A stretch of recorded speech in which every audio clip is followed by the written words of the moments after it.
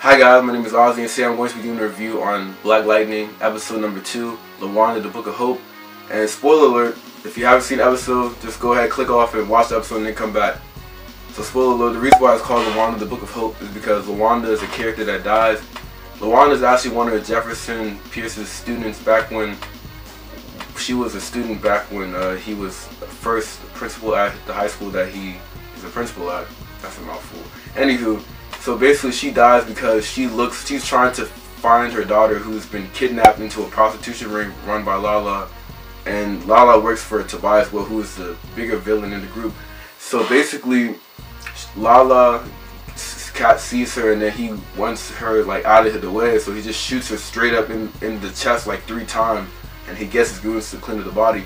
But unbeknownst to Lala, before uh, went out to confront him with her video camera, she had her phone set up on the dashboard to record uh, to record Lala in case anything happened, which was good. So like they didn't see her her uh, her phone camera just fall back, which comes back later in the end of the episode where they used to like collect evidence against Lala. But so before all of that, the episode starts off with Jefferson Pierce, aka Black Lightning. He's having all these pains. You see like the electricity surge through his body because his body's not used to like fighting because he hasn't. He's been retired for like the past nine years since he's just been a principal.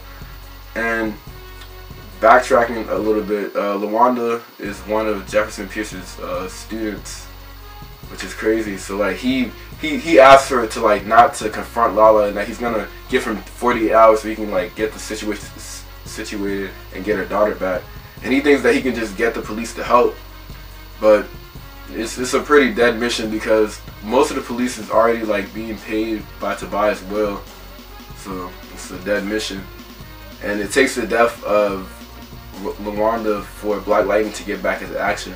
But before any of this happens, Lynn, which is uh, Jefferson Pierce's uh, ex-wife, she thinks that him be, him becoming Black Lightning is an addiction, and she wants to get closer to him, but she thinks that him being a hero is going to ruin their relationship and, and hurt the kids even more. And then Jefferson realizes that he has to become a hero again because at this point the city is becoming is getting more into grave danger, which really sucks because he has all this power and he's been letting the fear of losing his family stop him from doing what's right.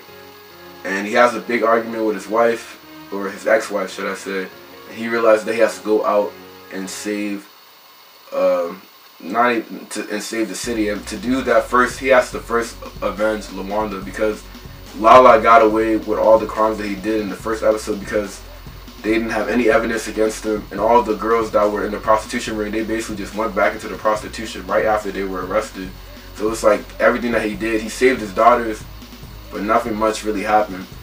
So Jennifer, uh, Jen Jennifer Jefferson's youngest daughter, she's basically under 24-hour surveillance watch by the police. And one of Lala's, uh, his Lala's nephew, he comes up like he's about to sell her like some fundraiser chocolate, and then he pulls out a, a gun, but the gun is actually filled with like with like uh, fake blood. He shoots it at Jennifer just to indicate that she's a, a target. And this is what prompts uh, Jefferson into one of the other reasons why Jefferson is prompted back into becoming Black Lightning because he realizes that if he doesn't stop Lala, he's going to continue to send more people after him. So Jefferson tries to confront Lala one more time, like as Jefferson, as his as his uh, principal self, and Lala tells him that it's too late now. He better he should he's better off just leaving the city, the state, and just getting away from. Otherwise, his daughters are going to end up actually getting hurt. He said, "You better be lucky that that was this time it was just a, a, a water gun." which is crazy. So this whole beef between uh, what's her name, uh, Lynn and and uh, Peter, she keeps she keeps telling Peter that he should. He's Lynn is trying to tell Peter to not let Jefferson get back into the crime fighting life, and Peter is basically saying that okay, there might have been a problem like with him getting hurt before, but great people have to do great things with their abilities which is pretty much him just rephrasing the whole uh, with great power comes great responsibility. You know, that's Marvel's thing, but that's besides the point. And he's basically saying that he has to do, like Jefferson has to do what he has to do to save the city. And the final argument with Lynn and Jefferson, it just shows that uh, Jefferson actually has to go and save his family. So the action scenes, like the real action scenes, don't really occur until the last eight minutes of the episode.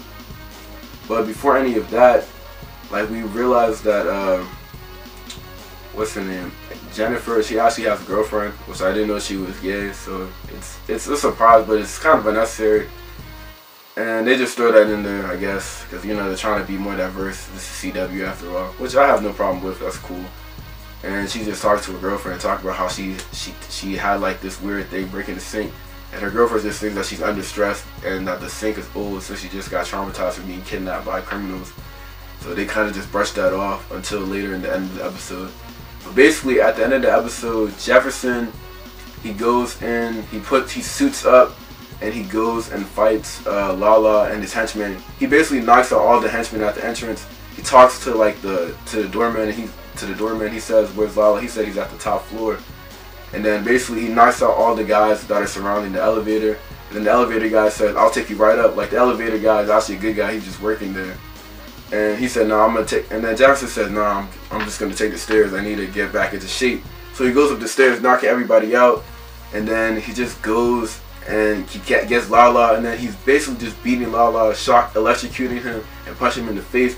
And this at this point, you think that Jefferson is actually gonna kill Lala because he's so angry that he his daughters got kidnapped. But then right when he's about to like pretty much almost beat him nearly, he's like like uh Lala is almost pretty much dead at this point. Like his face is all messed up, he's bleeding. And then the police arrive, luckily for Lala, otherwise Black Lightning would have went crazy and just lost his mind. And basically, uh, the police tell him to put his hands up, and then uh, Black Lightning looks at uh, the police officer, which his name is the the detective who's inspected with the police, Henderson. And then I, I feel like Henderson realizes that Black Lightning is Jefferson Pierce because they look at each other's eyes, and then he, he he like I think he gets the idea that it's probably Jefferson.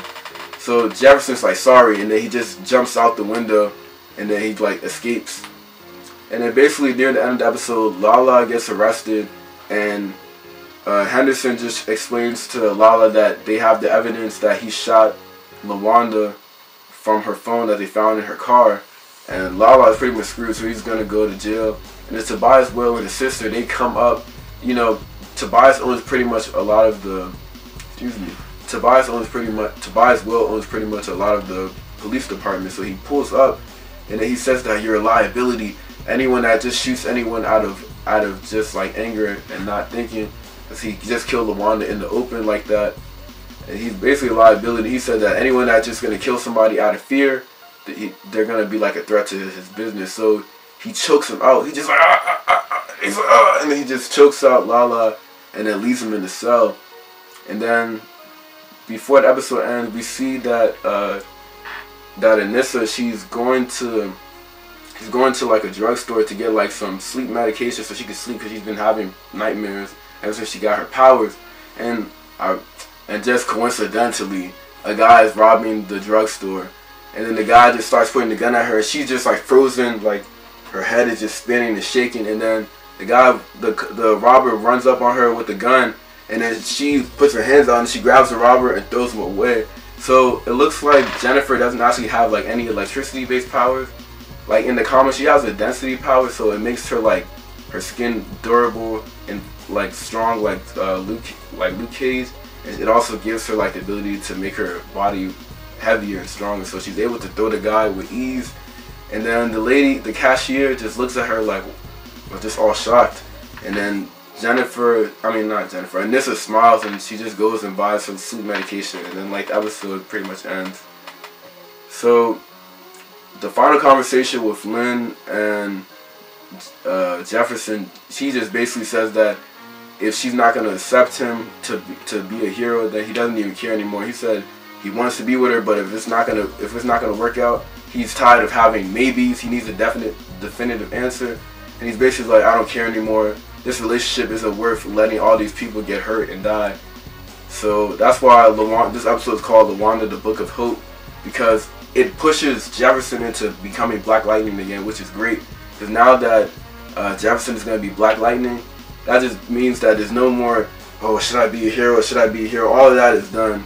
The first two episodes were just building up on the fact that Black Lightning needs to be back for good. So the TV reporter's like, Black Lightning's back, but is he coming back for a vendetta or is he going to be back to help the city?